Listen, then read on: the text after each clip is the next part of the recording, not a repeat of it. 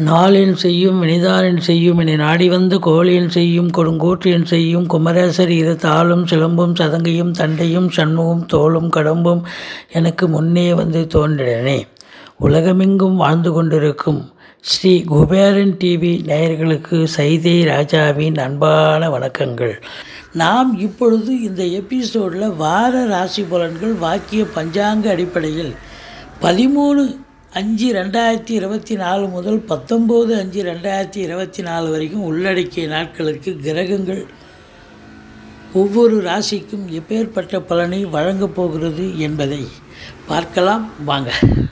மிதுன ராசி காலபுருஷனுக்கு மூன்றாவது ராசி மிருக சிரிஷம் மூன்று நான்கு பாதங்கள் திருவாதிரை புனர்பூசம் ஒன்று இரண்டு மூன்று பாதங்கள் உள்ளடக்கியது. புத பகவான் ஆட்சி பெறும் வீடு. இப்பொழுது புத பகவான் பதினோராம் இடத்தில் இருக்கிறார். மிக மிக சிறப்பு. இருந்தாலும் சனி பார்வையில் இருக்கிறதால எல்லாமே நன்மையில் முடியும்.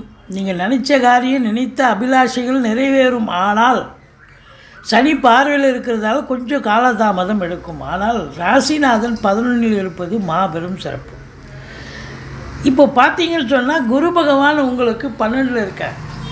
குரு பார்வை நாலாம் இடம் ஆறாம் இடம் எட்டாம் இடத்தை பார்க்க போது ஏழுக்குடைய குரு பகவான் பன்னெண்டில் தான் இருக்கார். ஸோ உங்களை பொறுத்தவரையிலையும் இந்த வார கிரகங்கள் இந்த ம- மிதுன ராசிக்கு எப்பேற்பட்ட பலனை வழங்கப் போகிறது அப்படின்னு பார்த்தீங்கன்னா ஓரளவுக்கு நல்ல பலனையே கிரகங்கள் வாரி வழங்கப் போகிறது அப்படின்னு சொல்கிறோம் உங்களுக்கு மூணாம் இடத்தை சனி பார்க்கிறார்.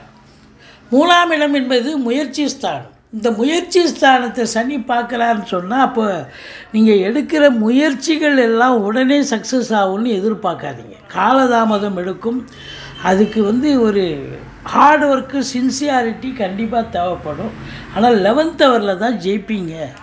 ஃபஸ்ட் அட்டம்ப்ட்லாம் ஜெயிக்க முடியாது அப்படிங்கிற ஒரு நிலை இருக்குது இளைய சகோதர சகோதரிகளுக்கும் உங்களுக்கும் கருத்து வேறுபாடு வரும். கொஞ்சம் விட்டு கொடுத்து போங்க அரவணைச்சு போங்க. மற்றபடி உங்களை பொறுத்தவரை இந்த மொபைல் சாஃப்ட்வேர் பிபிஓ இப்படி வேலை பார்க்கக்கூடியவர்களுக்கு கொஞ்சம் எச்சரிக்கையாக இருக்கணும். மற்றபடி நாலாம் இடத்தை குரு பார்க்கிறார். நாலில் கேது இருந்து உங்களுக்கு ஏகப்பட்ட பிரச்சனைகளை தந்தார். ஆனால் இப்போ குரு பார்வை கோடி நன்மை என்பது என்று சொல்லலாம். அந்த அளவுக்கு உங்களுக்கு சிறப்பாக இருக்கின்றன. வண்டி வாகனங்கள் இது வரைக்கும் ஆதாயத்தை தரவில்லை. இப்போ இனி வண்டி வாகனங்களை வச்சு பொழப்பு நடத்தக்கூடியவர்களுக்கு நல்ல வருமானம் கிடைக்கும். தாய்க்கு தேக ஆரோக்கிய குறைவு ஏற்பட்டு மருத்துவமனைக்கு சென்றீர்கள். ஆனால் இனி தாய் தாய் வழி சொந்தங்கள் உங்களுக்கு அனுகூலமாக இருப்பார்கள். பிள்ளைங்க நல்லா படிப்பாக அதில் ஒன்றும் குறை கிடையாது. அவங்க என்ன கோர்ஸில் சேர்ந்து படிக்கணும்னு விருப்பப்படுறாங்களோ அதை நீங்கள் தாராளமாக நீங்கள் ப்ரொசீட் பண்ணலாம் படிக்க வைக்கலாம். நல்ல சிறப்பான ஒரு நிலை. இது மாத்திரம் இல்லை உங்கள் சுகஸ்தானத்தை குரு பார்க்குறார். சுகவாசியாக இருக்க போகிறீர்கள் இந்த மிதுன ராசியில் பிறந்தவர்கள். ஆரோக்கியம் ஆறாம் இடத்தை குரு பார்க்குறார். ஆரோக்கியவாசியாகவும் இருக்க போகிறீங்க எதிரிகள் ஓடி ஒளிவார்கள். கடல் சுமை படிப்படியாக குறையும். கோர்ட்டில் கேஸ் இதாக இருந்தால் சாதகமாக தீர்ப்பு வரும்.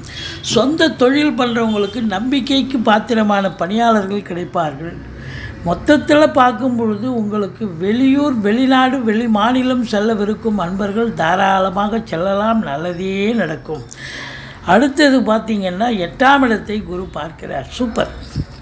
எட்டாம் இடம் என்பது இப்போ தொழில் பண்ணிகிட்ருக்கீங்க கடந்த காலம் தொழில் பண்ணீங்க. ஒன்றும் சரியாக இல்லை. சூடு பிடிக்கலை.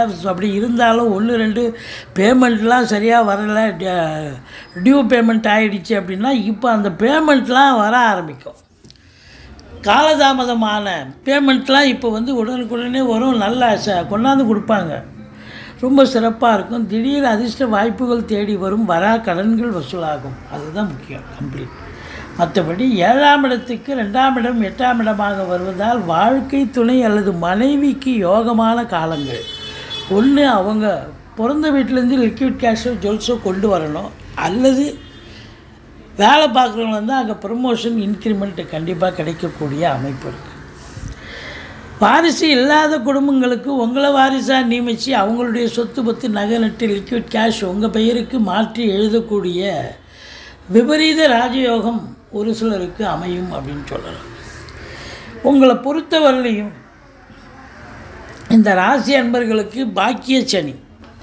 அதாவது இப்போ பாக்கியஸ்தானத்தில் சனி பகவான் சிவகலாட்சம் உள்ள காலங்கள். சிவனை எந்த அளவுக்கு நீங்கள் வழிபடுறீங்களோ அந்த அளவுக்கு சிவனுடைய அருள் உங்களுக்கு பரிபூர்ணமாக கிடைக்கும். தந்தையை நமஸ்கரியுங்கள் தந்தையை வணங்குங்கள். தந்தையினுடைய ஆசீர்வாதம் உங்களுக்கு பரிபூர்ணமாக கிடைக்கும் அப்படின்னு சொல்லலாம். அடுத்தது பத்தாம் இடத்தில் ராகு இருக்கிறார். தொழில் ஸ்தானத்தில் ராகு இருக்க கொடுத்து வைக்கணுங்க. தொழில் வந்து விருத்தியாகும். நல்ல விருத்தியாகும். தொழில் விருத்தியாச்சுன்னு சொன்னாலே உங்களுக்கு இப்போ கடன் வாங்கி தொழிலில் போட்டிங்கன்னா தொழில் நல்லா அபிவிருத்தியாகும் ரெட்டிப்பு வருமானம் வரும்.